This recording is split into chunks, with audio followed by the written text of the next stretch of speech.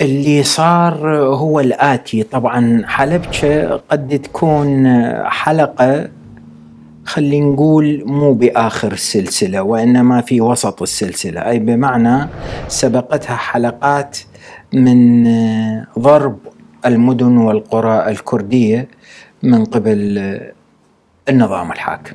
شو اللي شو اللي شنو اللي صار قبل أحداث حلبشة؟ نفس مال حلبشة ضرب للقرى وتدمير وتهجير للأكراد ليش؟ بدأت الأنفال من السبعة وثمانين ثم حلبشة واستمرت إلى نهاية الحرب العراقية الإيرانية السبب هو الآتي آه، طبعا الأكراد معارضة للسلطة للحكومة هم في أواسط الثمانينات حاولوا تصير.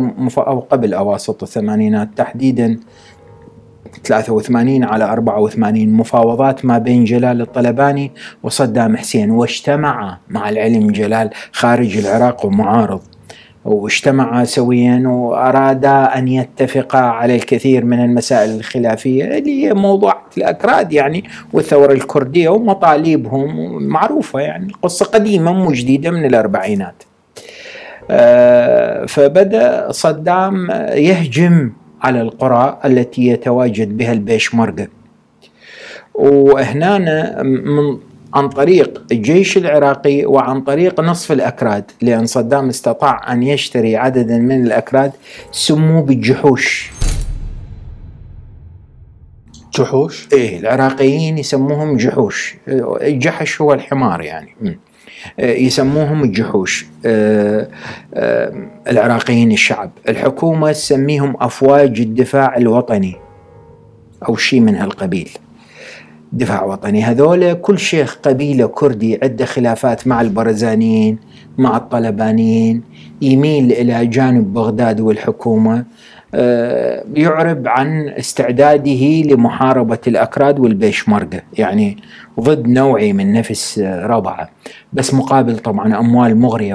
وأنا أعرف شخصيات وشيوخ كانت الأموال تأتيهم بالخليج يسموه شوال بالعراق يسموه قونية والقونية عندنا بالعراق نوعين نوع بها خط أحمر نوع بها خط أزرق.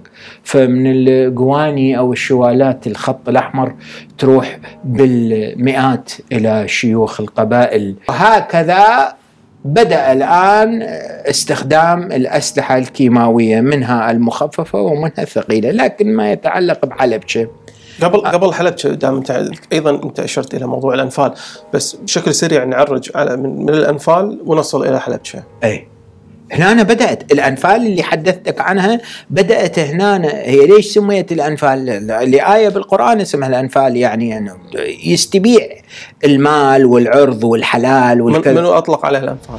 أحد القادة العسكريين وصدام أيده وسميت حملة الأنفال إعلاميا بالعراق يعني التسمية مو من صدام وإنما من قائد عسكري.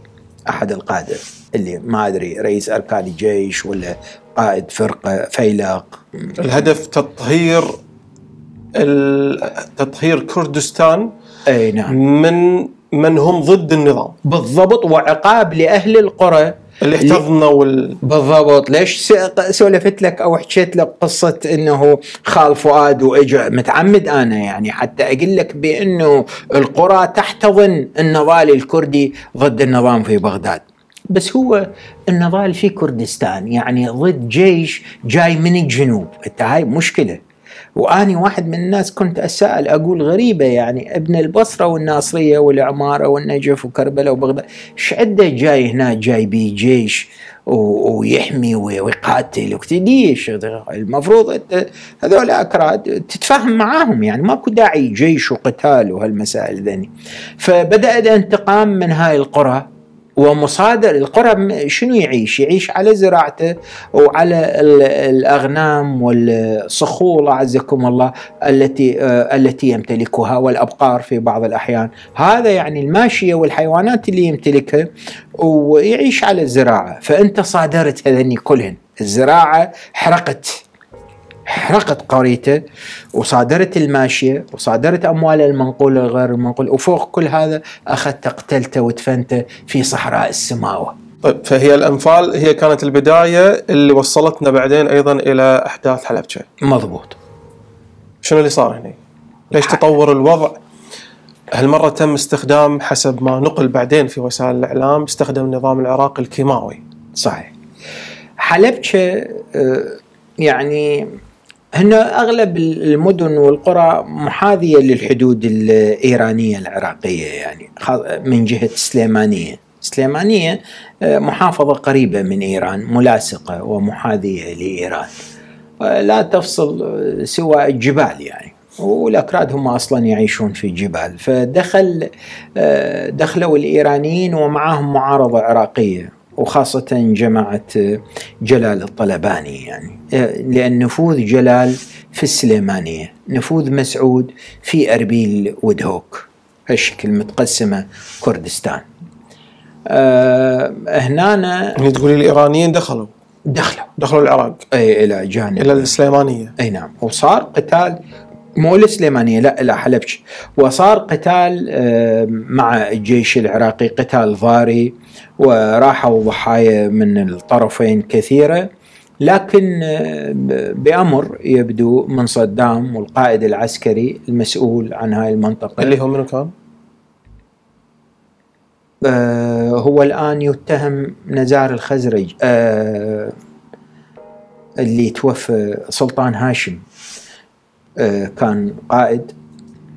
وما أدري إذا بقية القادة الآخرين. على أي حال فانطى أوامر بالانسحاب بس المسؤول عن ضرب الكيماوي بالدرجة الأساس علي حسن مجيد.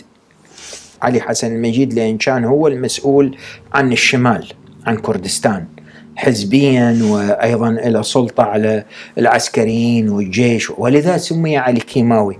لأن السؤال وين استخدم الكيماوي علي؟ ما قابل استخدمه ببغداد ولا لا استخدمه؟